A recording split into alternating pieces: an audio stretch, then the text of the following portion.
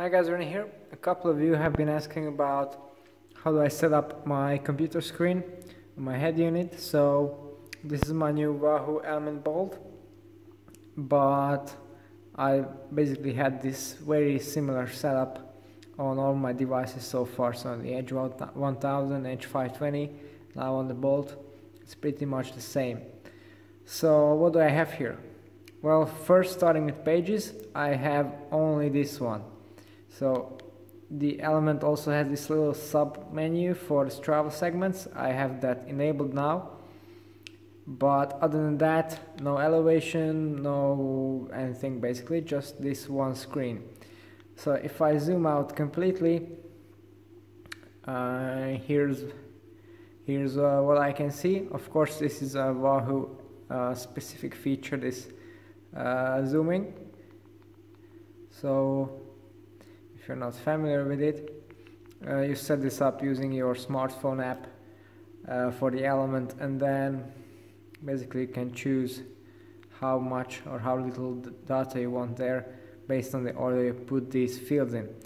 So let's start with the first field. Uh, this is obviously the most important and that's my power.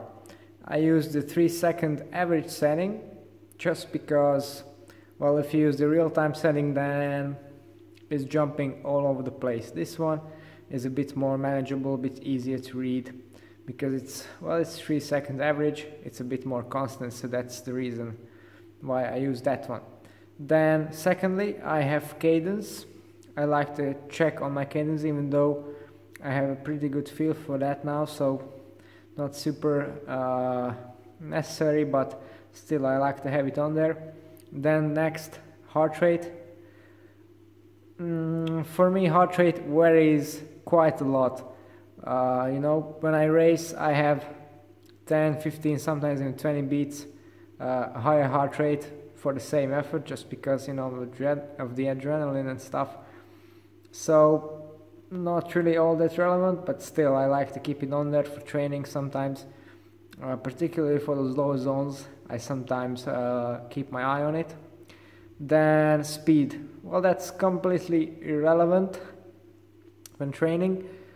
Uh, a bit more useful when racing actually because you know if you're in the bunch you're not really feeling from the resistance that how fast you're going but if you see that you're riding at 50 k's per hour 55 you know that's not the right time to attack or move up in the bunch. So uh, I use it mainly for that.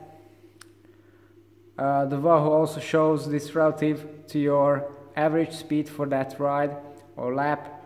uh, when you're riding along, just a small little arrow appears on there to indicate whether you're above or under your average speed. So that's a nice little feature. But yeah, it's more in training at least it's more of an entertainment thing than actually something useful but still nice to keep an eye on. Then distance traveled. I think that goes without saying. Although time is the really important stuff i like to keep my distance on there as well. Then normalized power. That's uh, really quite useful uh, because well when I'm training doing some intervals and stuff I like to keep an eye on that to see if I'm going hard enough or easy enough. And then again in the race I know uh, if I spent too much or not or how should I be feeling uh, regarding that. Then average power is displayed here. For example uh, for some reason this just says watts but this is average power. And then finally this is my SRAM gearing and this is the last field because well it's only relevant to one of my bikes because that's the only one using a, an electronic group set and the only one using a front derailleur. And that's uh, still that's only sometimes. So not really on all that important but I like uh, having an eye on that for some of the climbs when you really want to avoid cross chaining and sometimes you know when you're sitting in a bunch uh, looking down is not perhaps not the wisest thing to do when there are many people around you traveling at high speed. So uh, that's just uh, so I can check on that. Uh, most of the time I use this position. So not completely zoomed out or zoomed in but just this one with seven fields. So again nice big voltage display here. And then all the relevant data here uh, the reason I don't use the other fields and other other pages well they're not really all that relevant to me you know. I'm a competitively focused rider so all I need basically is this and nothing more. I like to keep it as simple as possible. So yeah this is how I set up my computer screen.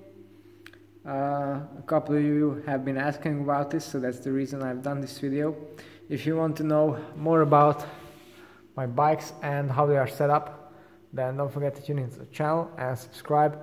It's all for today. Thanks for watching and see you next time